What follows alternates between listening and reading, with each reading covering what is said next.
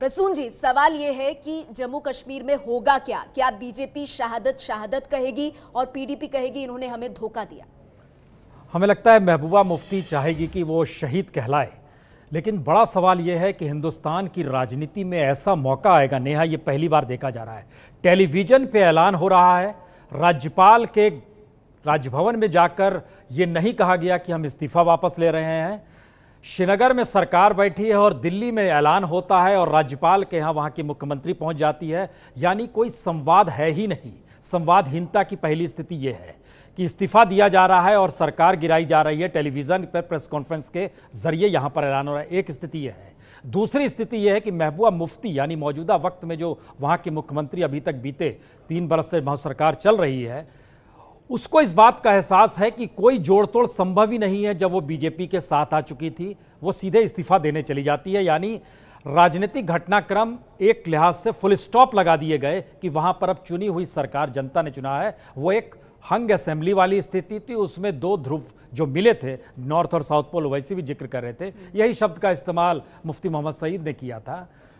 तो क्या ये एक्सपेरिमेंट कश्मीर के साथ हो रहा था? पहला सवाल ये होना चाहिए। दूसरा सवाल कश्मीर को लेकर क्या वाकई कोई पॉलिसी गवर्नमेंट ऑफ़ इंडिया के पास जिसका ज़िक्र बार बार हर कोई करता है, है या नहीं है? और तीसरी बड़ी स्थिति कश्मीर हमें समझना चाहिए सीमावर्ती राज्य है।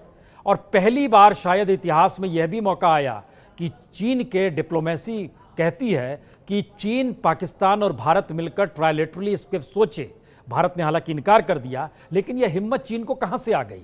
और पाकिस्तान जिस तरीके से यूनाइटेड नेशन जाता है, चीन समर्थन करता है, टेररिज्म लगातार उस पार से आ रहा है, इसको हर कोई जान समझ रहा है, ये सारी स्थितियों के बीच घाटी की स्थिति मौजूदा वक्त में अगर इतनी बिगड़ी है तो क्या कोई पॉलिसी है या नहीं है? एक बात और हम यहाँ पर ज़िक्र करना चाहेंगे।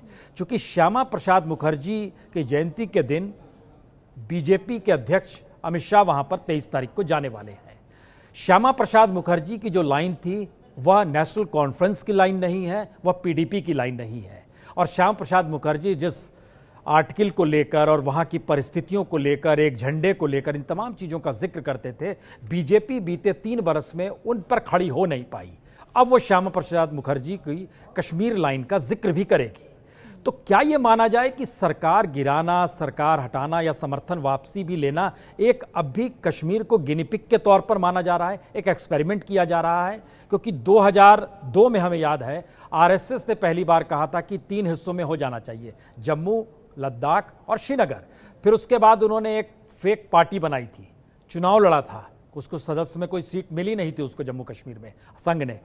एक प्रयास लगातार हो रहा है घाटी को किस रूप में देखा जाए? डेमोक्रेटिक सेटअप में यह संभव ही नहीं है कि आप प्रेस कॉन्फ्रेंस करें और दिल्ली में ऐलान कर दें और राज्यपाल वहाँ पर तैयार बैठा हो कि मुख्यमंत्री आएँगी और बोलेंगी अब हम वापस हमारा इस्तीफा ले लीजिए। हम्म। यानी समर्थन वापसी का लेटर नहीं गया है। जी। ये मज़ाक नहीं है तो और क्या है डेमोक्रेसी की आपने बहुत बड़ी बात कही कि जम्मू कश्मीर जैसी जगह को इस प्रदेश को क्या एक एक्सपेरिमेंट के तौर पर इस्तेमाल किया गया है? और अब वहाँ होगा क्या? ये है एबीपी न्यूज़ आपको रखे आगे।